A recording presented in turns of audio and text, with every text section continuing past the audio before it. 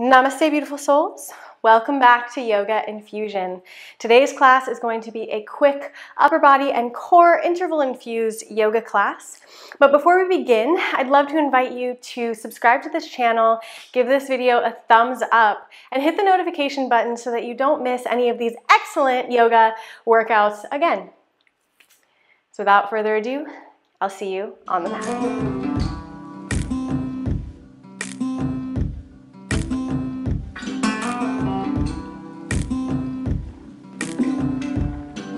We'll begin today's class in a posture that is not often touched on in these interval infused classes, child's pose, balasana. So bring your hips onto your heels, take your knees as wide as the mat, toes to touch, and walk the hands forward, resting the forehead on the mat, on your hands, or on a block.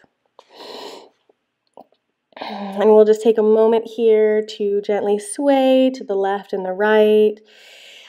If that feels good to you and your body,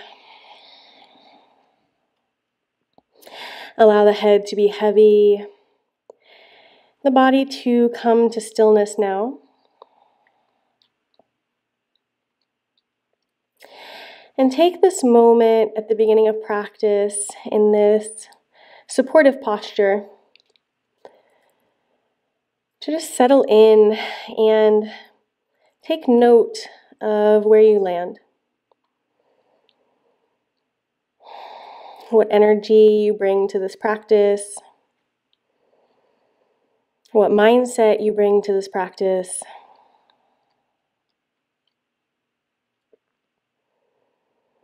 Take a deep breath in through the nose, expanding the mid back, lower back as you send the breath into these places. And exhale slowly through the nose. Again, like this, inhaling, expanding the upper back, puffing up like a balloon. Exhale, release the hips a little more.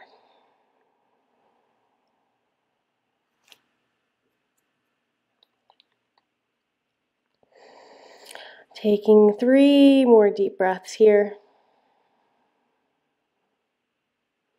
Taking the time to slow everything down.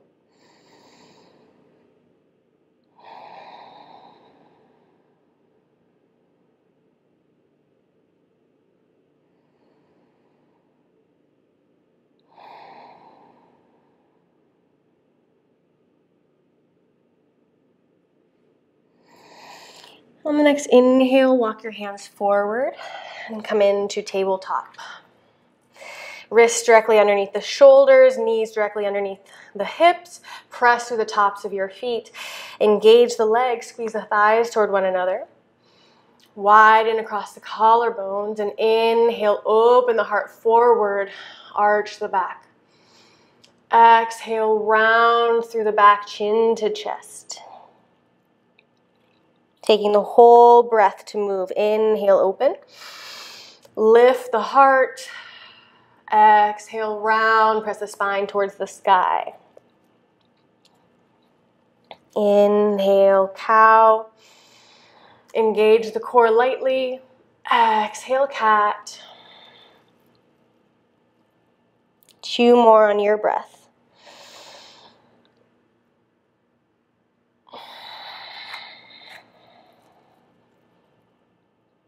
Ah, Last one.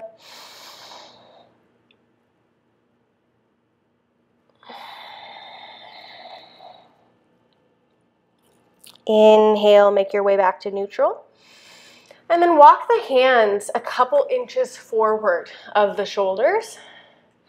And from here, inhale forward, drop the hips, maybe micro bend in the elbows, lift the heart, cobra. Exhale, press the hips back, child's pose. Inhale, ripple forward, drop the hips, cobra, open the heart, press through the tops of the feet. Exhale, child's pose.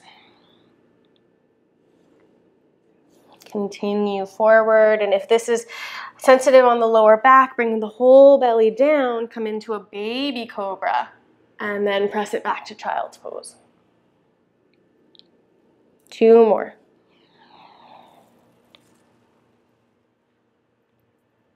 Really engaging through the tops of the feet. Last one.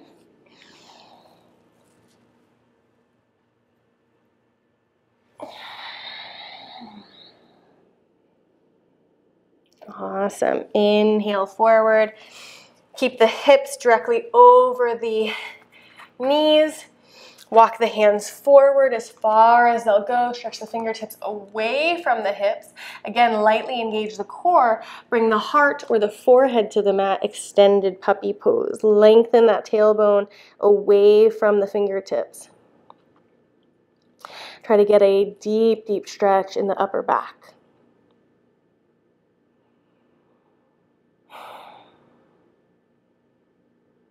Nice. Inhale, come back up. Into tabletop. Flip the toes under, straighten the legs, come into plank pose. Spread your fingers wide, press through the heels, engage the core, open the heart, press the up front body up to meet the back body. Beautiful. Option to drop the knees, of course. Just remember to keep the core super engaged. And from here, bring the left forearm down, followed by the right into forearm plank, then press through the left hand, followed by the right plank, and then switch sides, right hand, left, right hand, left, 10 times.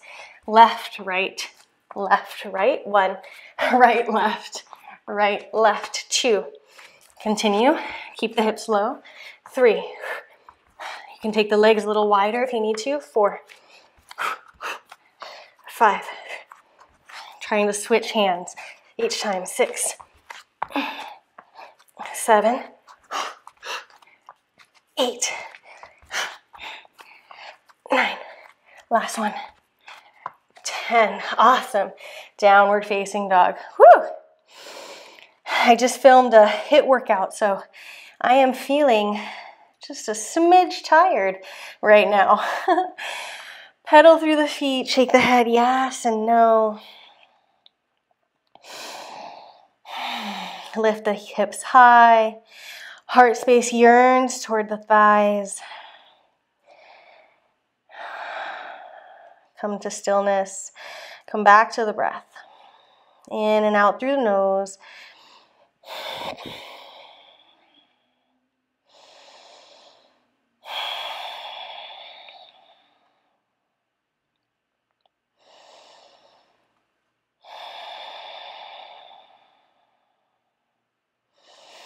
On your next inhale, press through the upper back, rounding through the back. Draw the chin into the chest. Slowly ripple forward. Come into plank. And as you exhale, hook the hips up, suck the navel in, press back to down dog. Inhale, ripple forward, rounding the back, engage the core plank. Exhale, hook the hips up like someone's dragging you from the hips towards the sky, down dog two. Three. Make the movement slow and precise. Four.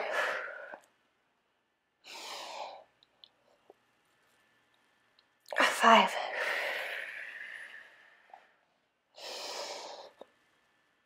Six. Seven, almost, eight,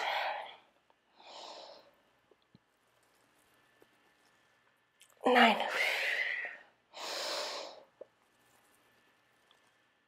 ten, beautiful, downward facing dog. Inhale the right leg up. Exhale, step the foot between the hands. Keep the left hand down. Inhale, right arm up. Easy twist. Draw the shoulder blades toward one another. Keep the right hand engaged. Stack directly over the body. Press that left heel away from you. Open.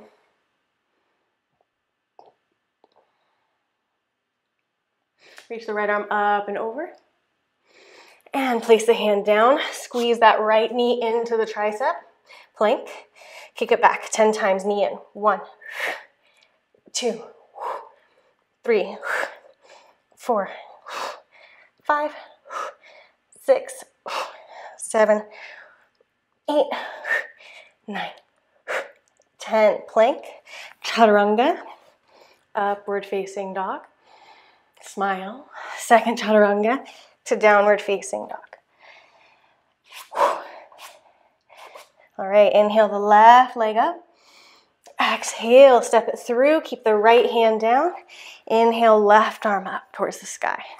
Beautiful. Stretch. Press the right heel away from you. Bend deeply in the left leg.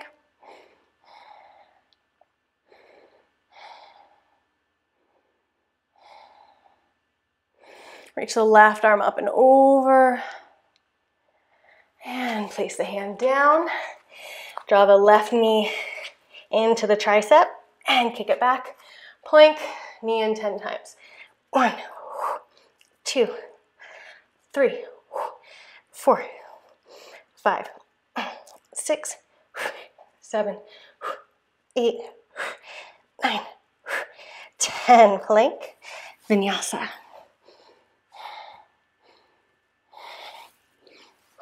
To downward facing dog. Come back to the breath, in and out through the nose. Stretching down the hamstrings, stretching along the back. Enjoying this pause before we take it to the other side or start a new a new sequence. Inhale the right leg up. Exhale, step the foot between the hands. Inhale, right arm up, easy twist.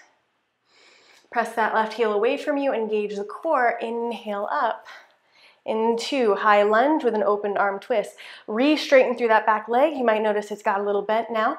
Fingertips yearn away from one another. Left arm forward, right arm back.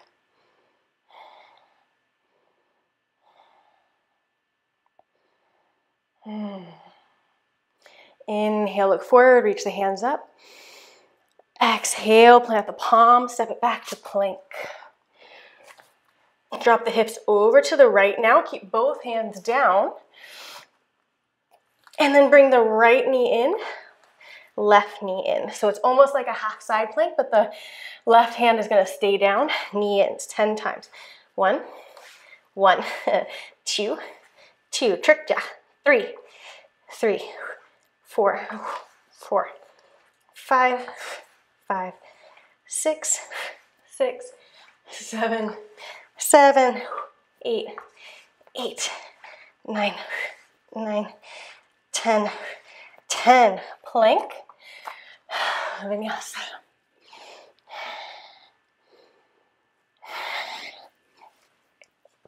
This workout is going to be quick and concise. So you can squeeze it into busy days and still get a great workout in, some toned arms, toned abs, and looking great in all the clothes that you wish to wear. So inhale the left leg up.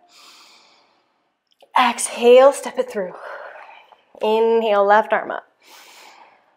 Easy twist. Straighten through that right leg, engage the core. Inhale, lift. Wide arm twist. Re-straighten through that right leg if you notice it got bent. Left arm reaches back, right arm forward. Squeeze the shoulder blades toward each other. Press equally through the inner and outer edge of the right left foot. Press the right heel away from you. Beautiful. Inhale, high lunge. Exhale, plant the palms, plank. Drop the hips to the left this time, and we'll knee in both legs. All right, you can take the right hand a little bit closer to the left if that is supportive to you. And let's begin. One, one, two, two, three, three, four, four. Squeeze it tight. Five, five, six, six, seven, seven, eight, eight, nine, nine, ten, ten. Plank, vinyasa to downward facing dog.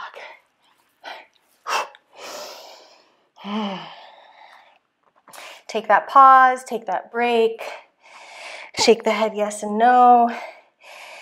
Congratulate, congratulate yourself on how strong you are for making your way to your mat today for this short practice.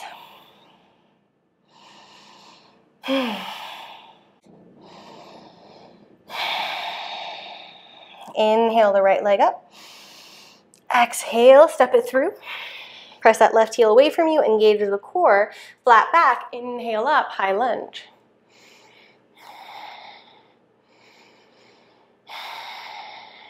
Take the hands to prayer, prayer twist. Widen the collarbones, press that left heel away from you, left leg is stick straight and energetic, relax the shoulders.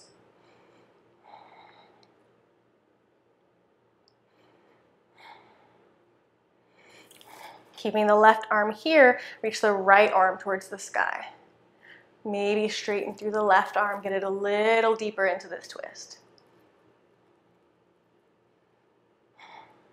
Excellent. Inhale up, high lunge. Working with that balance. and exhale, plant the palms, plank. This time, keep that right leg up.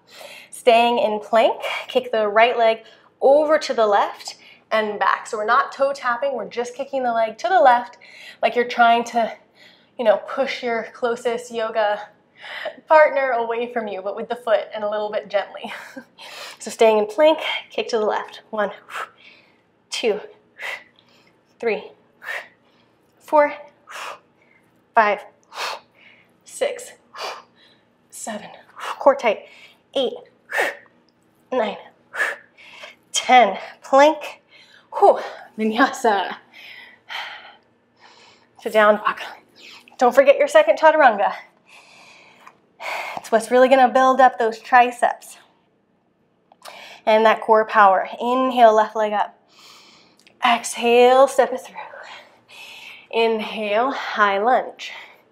Lift the fingertips towards the sky. Press through that right heel, hands to prayer, prayer twist.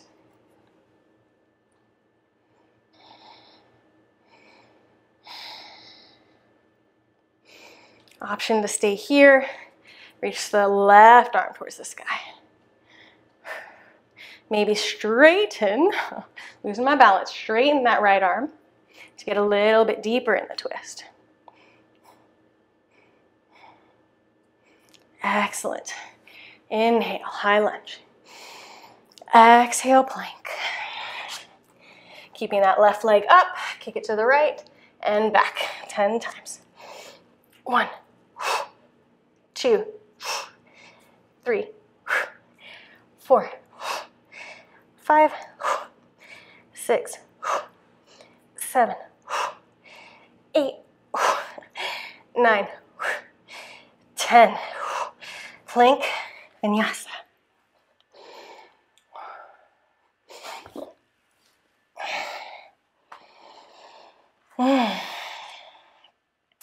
This is our resting pose. This is where we get to stretch it out, let it feel good before moving on. So take the left hand to the center of the mat, left and right. Take the right hand to the left ankle, twist, look under the left shoulder. And if you can't reach that ankle, you can take the hand to the thigh or the shin, wherever feels good to you. And other side. So right hand to the center of the mat, left and right left hand in the direction of the right ankle. Look under your right shoulder.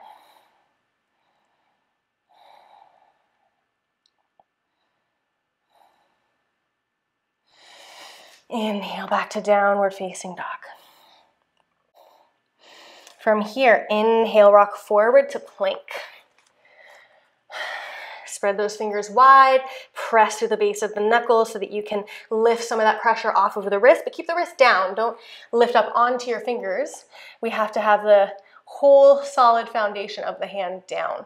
But this is just a way to take some of the pressure off of the wrists. Okay, holding your plank, drop the knees down, just tap the ground and press back up. So you're not taking your weight onto the ground and releasing, you're holding that plank Bending the knees, tap down, press the heels away from you, straighten the legs.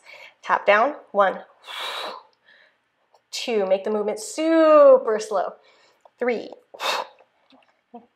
four, five,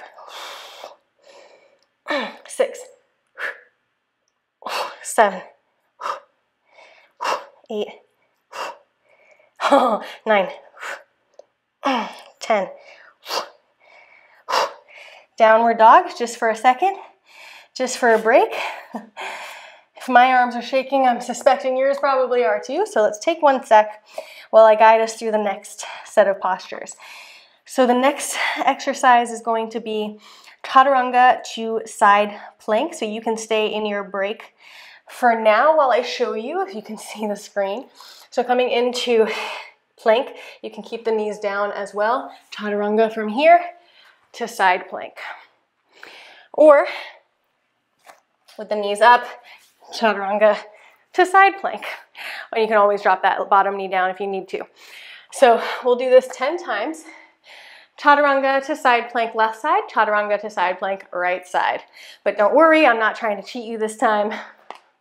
It will be just a total of 10, not a sneaky total of 10, which is really 20, all right? So break is done. Set yourself up, plank of your choosing, chaturanga, side plank. One. Chaturanga, side plank, other side. Two. Three four, five, six, seven, eight, nine, ten. Awesome job. Come back to plank. Hop the feet forward. Come to sit on your bum and come straight into elevated bicycles. So fingertips behind the ears, elbows wide, right elbow to left knee, left elbow to right knee 20 times. One, two, three, core tight. Four, open the heart. Five, six, elbows wide. Seven, eight, nine, 10, 11, 12, 13, 14, 15, 16, 17, 18, 19, 20. Whew. Place the feet down. Oh, my mat has moved. Place the feet down for a sec. Really kicking butt today, aren't we? All right, lift the knees, come into high boat, reach the fingertips towards the feet. Or you can, of course, keep the toes down and do this with the toes down, though it might be harder. I've not tried, so you can let me know. Otherwise, shins parallel to the mat, high boat, drop the lower back down, straighten the legs, low boat, engage, come back up, high boat to low boat. Two. This is hard. This is really hard for me. I have a long torso, so keep going. Three. Four, really use that core. Five. Six. seven, eight. This is one of my weaker ones, honestly, so it's good that I put it in these classes. Nine. Forces me to do it. Ten. All right, come on to the back. Whew. Can bring the knees into the chest for a second. Two. Recoup. And then take the right leg long, hovering it above the mat, left leg up, Take the hands underneath the hips and we'll slowly scissor kick. Opposite leg up and down. One. Really press the sides of the waist down. Two. Three. Really engage that core. Four. Five. Six. Seven. Eight. Nine. Ten. Bring both feet up now. Kick the sky and lightly lift the lower back, the hips off the mat. One, two, straight up to the sky. Three, four, five, six, seven, eight, nine, ten. Awesome. Now come into plow. If it's in your practice, Otherwise, take happy baby. But if you would like to take plow, you can take your feet over the head. Oh, I got this fancy, it's fancy, this nice uh, wall here. Take the hands to the back to support. Walk the feet down. You can always keep the knees bent as well. If that feels good, straighten the legs if that feels good. Clasp the hands if that feels good.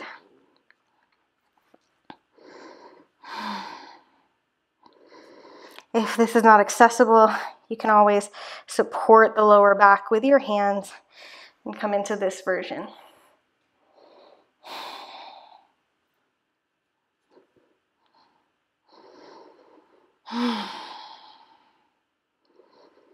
Take your hands down to the mat. Slowly roll out of it, one vertebra at a time.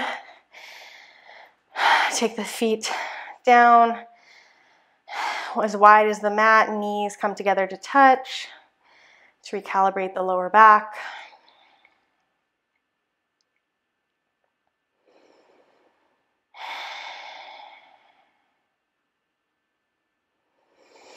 And then take the feet hip distance apart. Heels walk in towards the hips. Squeeze the thighs together, press the hands into the mat. Lengthen the tailbone towards the heels. Press through the heels. Inhale, lift the hips, bridge pose. Option to stay here or clasp the hands beneath you. Press the heart towards the chin. Squeeze the thighs together towards one another. They shouldn't be touching. Or the goal, rather, is not for them to touch necessarily. Inhale here. Exhale, release. Beautiful job. Bring the knees into the chest now and take a couple nice little circles counterclockwise. Give your lower back a massage and then clockwise.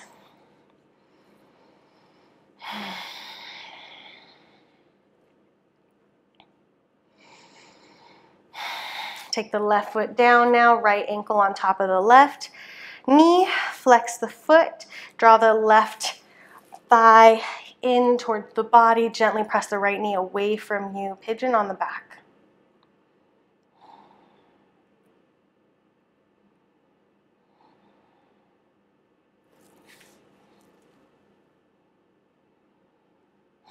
We'll keep it quick so this video is accessible for short time frames, but if you have a longer time, feel free to stay in these pigeon poses for longer. But otherwise, switch sides with me. Flex the left foot, draw the right thigh in, gently press the left knee away from you.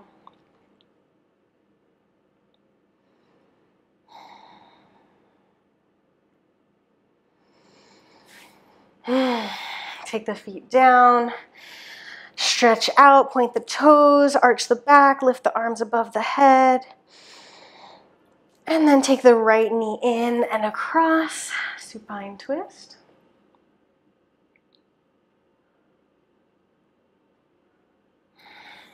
Other side, left knee in and across. If you're lucky, you'll get some crackles and pops.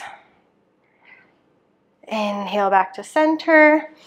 And grab the backs of the thighs, rock and roll. Give your back a nice massage to come up to a cross-legged seat. Clasp the hands behind the back, open, lift the heart. Inhale here. And exhale, forward fold over the legs. Great place for a block as well for the head. Just stretching the shoulders and the hips. Inhale back up, switch sides, switch the clasp, open the heart. Exhale, fold.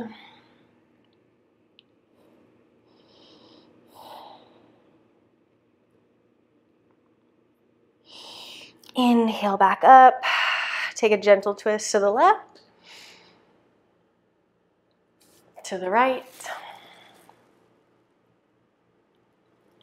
And if you have time for a restorative Shavasana, take that time now. Otherwise, this is the perfect time to head on with the rest of your day.